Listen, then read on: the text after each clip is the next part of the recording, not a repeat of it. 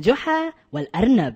المسلم ذكي لا ينخدع بخداع الآخرين ولا يجعل الناس يستغلون طيبة قلبه وسعة كرمه في تحقيق ما يريدون من أغراضهم. بل إنه كما يفكر في مصلحة الآخرين عليه أن يراعي مصلحة نفسه أيضا حتى لا يصيبه الضرر.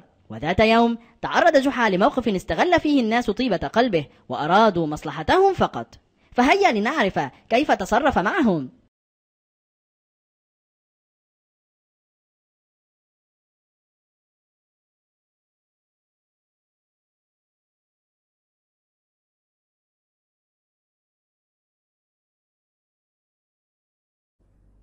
جزاك الله خيرا يا جحا. لقد أنقذتني من اللصوص.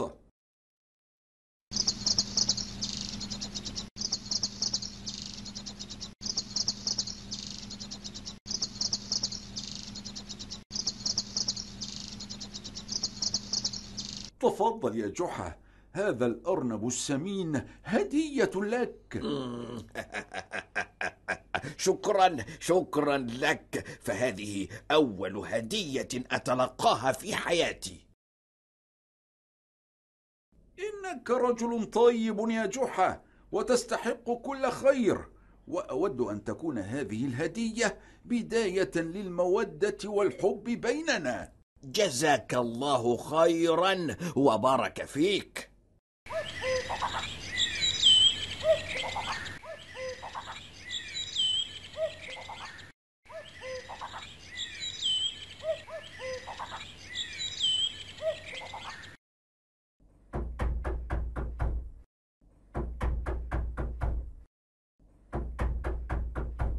انتظر.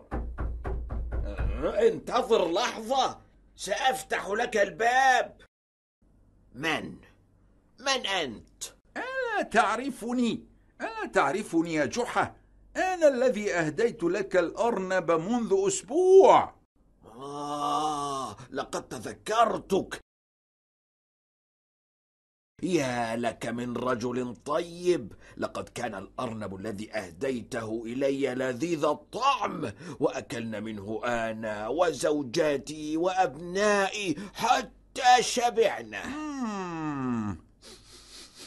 آه يبدو أن زوجتك تجيد الطهي يا جحا أه؟ آه نعم نعم إنها ماهرة جدا خاصة في طهي الأرانب هذا رأيك يا جحا؟ ولكن لا أستطيع أن أحكم على مهارتها في الطهي قبل أن أتذوق طعامها. لا كما شئت. تفضل تفضل يا صديقي العزيز فالطعام كثير. الحمد لله الحمد لله. هي له من طعام لذيذ لذيذ جدا يا جحا. الآن أستطيع أن أقول لك إن زوجتك ماهرة جدا في الطبخ. ألم أقل لك؟ صدقت يا جحا.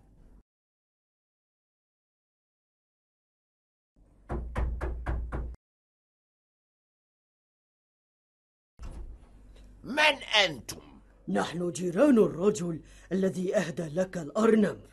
آه صاحب الأرنب؟ آه نعم نعم تذكرته إنه رجل كريم ولابد أن أكرم جيرانه كما أكرمني وأهدى إلي الأرنب.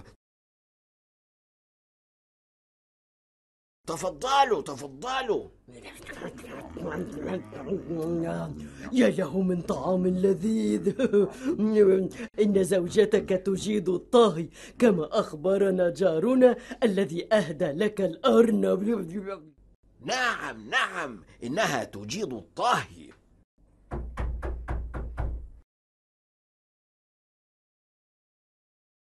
من؟ من أنتم؟